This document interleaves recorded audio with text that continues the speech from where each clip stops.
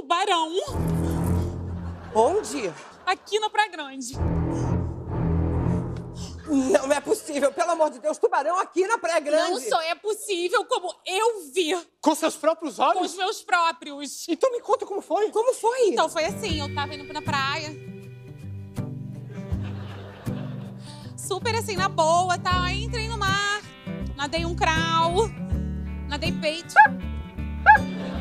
nadei costas, borboleta não sei nadar direito. Aí assim, eu olhei pro lado.